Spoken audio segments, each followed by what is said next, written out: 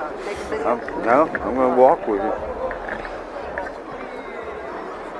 Our first meal in Casablanca is uh, chicken fish. Uh, no, it's a chicken tangier.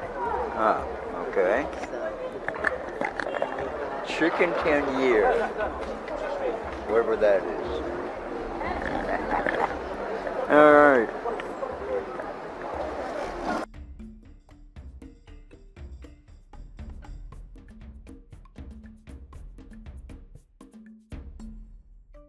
Okay, we have a Moroccan cat we're going to bring home with us.